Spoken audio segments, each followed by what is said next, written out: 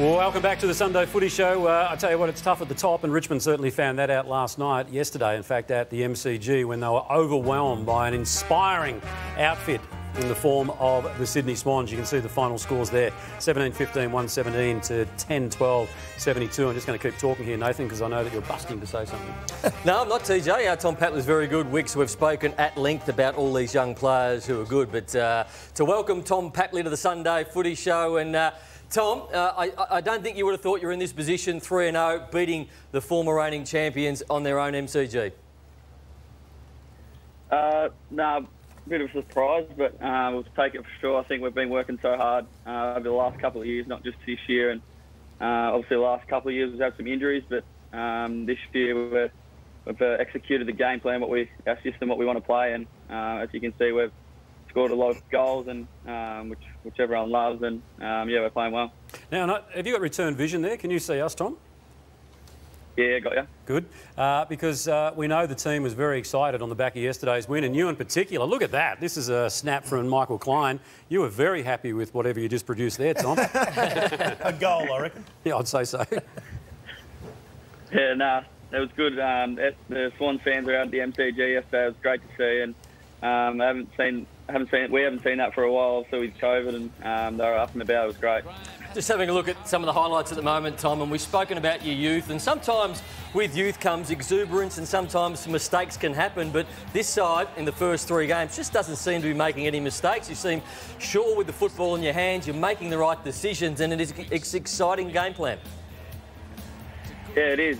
Um, they're they've got some they're young kids, but they've got a mature head on them, and I think that's the great thing about um, kids that come in these days. The under 18 programs that, that are run these days are, um, are great.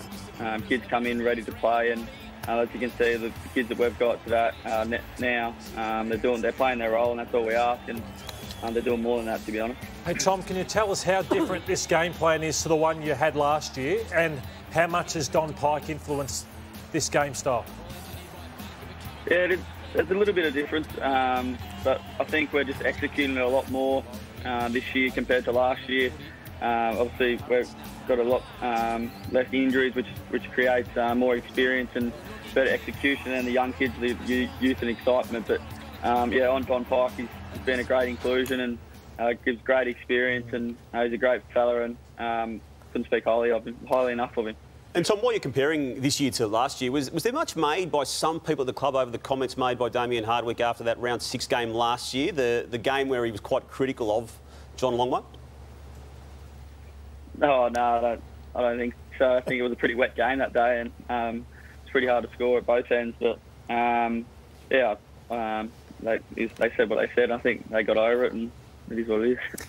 I'm interested in your tactics on Dustin Martin. We speak about it a lot. There wasn't a full-blown tag, but I thought Kennedy and Parker were outstanding. Um, what was your thought process going in against the game's best player? Yeah, um, it's a daunting task. Um, he's an unbelievable player, and those boys did um, superb job. Uh, sort of a yeah, a bit of a mixed mixed tag, a share tag, if you if you like, and uh, they played their role, and that's all we asked from from young players and senior players, and that was their role to to minimise his impact, and um, they did that um, really well. The amount of kids that have come into the, the team this year, and even the last couple of years, it's all coming together. Do, do you have a, a, soft spot for a particular one, do you, Tom? I mean, you've got McDonald, Warner, Gulden, Campbell, Wicks. They're just the ones that are really starting to shine this year. Which one are you taken by? Oh. Um, I, I, I, can't really say a favourite, but I've got to look after my little small forward in Errol um, and Wixie. Uh, obviously, you, got, you like your little um, small forwards, you, um, they put the pressure on and um, we, we, get up and about and give a bit of stick to the opposition, which we like. And obviously, they're all they're all great players, and um, I can't wait for the, net, for the next few years to see what see what comes of them. Now, two, Tom, two NAB Rising yeah. Stars, the first two rounds, and they'll have another one. Maybe with Warner. Warner. With or Johnny Wicks. Uh, can you be honest? Be honest with us. You're an honest man. How how did Buddy take being left out for this game after only being back for one week? Uh, yeah, I think he obviously wanted to play, but um, I think anyone would want to play, to be honest. But yeah, he he, he, he it was the right call. Uh, he would have probably he would have missed it, um, the Thursday night game um, this week, and um, yeah, he sort of just put his hand up and said, yeah, it's the right call, and the physio staff and the uh, medical team this year have been great with him and great with all of us, and that was the right call to make, and um, it didn't affect us, so it was great. And every chance to be back this week. So, Tom, can I just ask you? I mean, we, we know about the enthusiasm, we know about the injection of youth and these young fellas coming through. Was there anything else done in the off season to create this new mindset that you have, this real sense of belief, which is in stark contrast to what we might have seen last season? So, uh, has Horse done anything at all, John Longmire? Uh, I think we're just sort of um, going about our business, and uh, it's like we- I think like Sydney Swans have always done. They just um, get down to work and, and work hard. Like most clubs, you just you believe in inside your four walls, and uh, that's what we'll, we'll keep doing. And we've always over the last couple of years we haven't made finals, but um, it's, it's the progress that we've made over those last two years. And the hub last year was probably a really big positive for us. If you could take a positive out of it and to make to create that that group really tight. Uh, there was a lot of um, obviously we've got a, lot of young kids. There was a couple of guys with kids and things like that, like Bud, but he made a uh, great relationship with all, everyone, and uh, it was a great time. To be honest, um, I loved it, and I think 90, 95%, 100% of the guys love uh, the hub and what we were creating there. And um, as you can see, it's produced hopefully a good season um, this year. Tim, are you believing of the possibilities of the, the fairy tale as a group? It's even Tom. Yeah. He's, it's Tim. Um, Tom. I said Tom. I said Tim. Anyway, Timmy, keep going. Do are, are you embracing the possibilities of, of a fairy tale? Uh, no, the old cliche, we'll take it one week at a time. Um, it's, uh, it's, it's a funny game, footy, and uh, it's, it's hard work. You can't get ahead of yourself. And um, anyone this year, I think over the last couple of years, can beat anyone on the day. And we'll keep working hard at our system. Uh, we've got a young group, so we know we've got to roll on to the next week. We, we, we'll learn from the weekend and take some positives out of it and things that we can get better at, and then we'll move on to next week and take it week by a time. Tommy, you kicked four yourself yesterday and you Oh, gave perhaps. one off late, which Did he? uh, I, I don't like that sort of stuff. A, a big bag of five. It's very he. unlike you, Tom, to be giving them off. Well, I've, I've, I've, I like to think I've uh, been giving them off this year. Oh. Um, think, Come on, Timmy. um,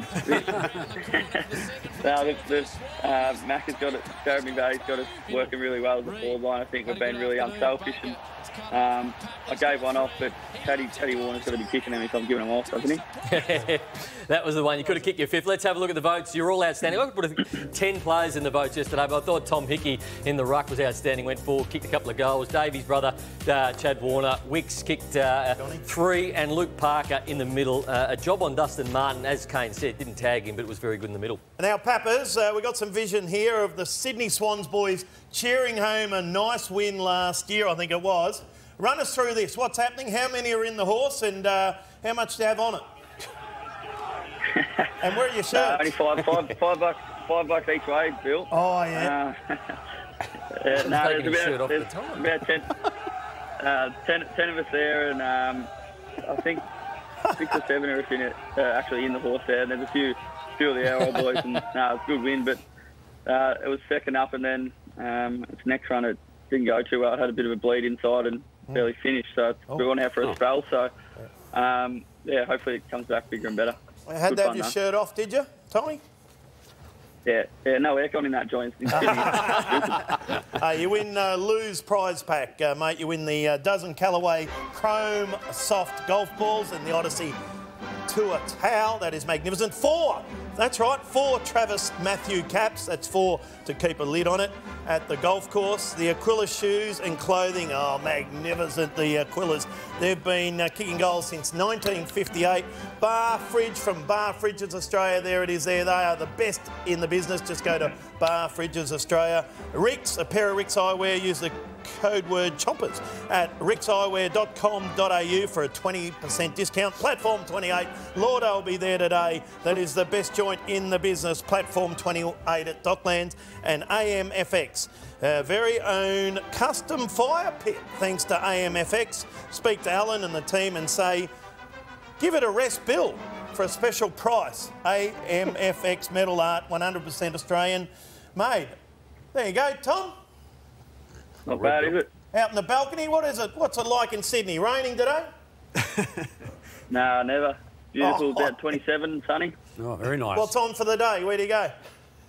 We're on air. Uh, yeah, that's all right. Um, I went down for a swim, hang out by the beach, I reckon, Easter Sunday, and uh, might go for dinner or something like that. All right, uh, great to see you, Tom. Uh, you're welcome any time and uh, continued success for the rest of the season. Cheers, see you, chompers. Okay. We got, we got it. I thought he was subdued today. Well, I know, it was a little. I, was, I don't know. I didn't want to say anything to him. I know he's still listening, but it wasn't the Tim Papley that we've come to know.